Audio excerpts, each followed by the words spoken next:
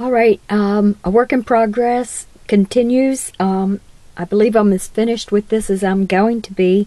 For the niece, I did an altered book, a pocketbook, and you can see that it has the Prima flowers and some bling and the Graphic 45 steampunk.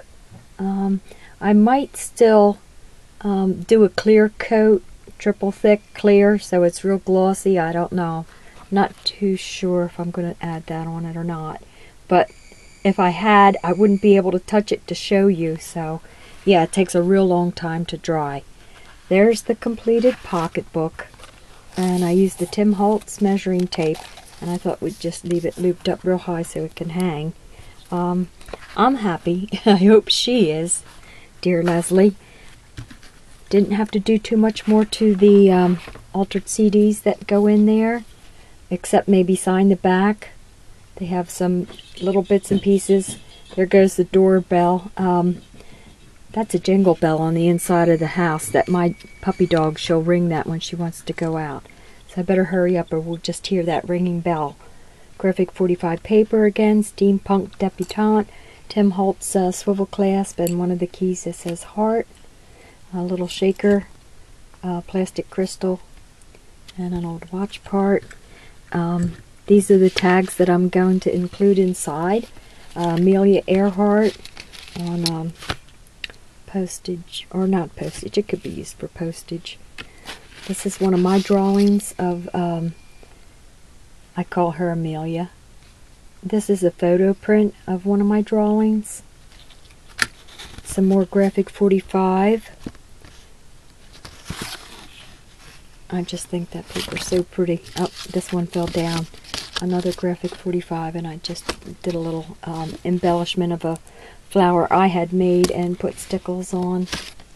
It's made from a paper punch and then cut and glued together. And one last thing that I wanted to include in here is I had mentioned before in a previous video that I did a workshop um, in Rochester, New York and that was in June. So that's my uh, card that I had given everybody that was in my workshop. And this is me. Actually, it says Aunt Dar on it. I dressed up as steampunk. 95% of this outfit was all um, thrift store finds. The blouse, and I kind of cheated on the corset, the pocket watch, and the chains and stuff I had. Even the boots for $10, vinyl boots from the thrift store. Um, old wedding gown veil and stuff that I had taken apart in a dress and I had made up. Um, this I I purchased and put a cameo on it.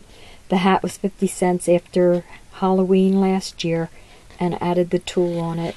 Uh, the gloves were full. I cut the hands off and um, had the fingers sticking out and I painted it. They were white and I painted them black to give it that zeddy look. That's what I was saying about steampunk that I love so much is that it's uh, Victorian, but you can put a little punk to it and have fun. So I hope she's going to enjoy this book. I had a lot of fun finishing up for her. And again, if you'd like to see how I make my lined pocketbooks, you can come over to um, Ustream. My stream name is ArteDar, and I come on live at 6 p.m. Eastern Standard Time. Hope you enjoy, and thank you, Marianne, again for the challenge that we can get some projects accomplished.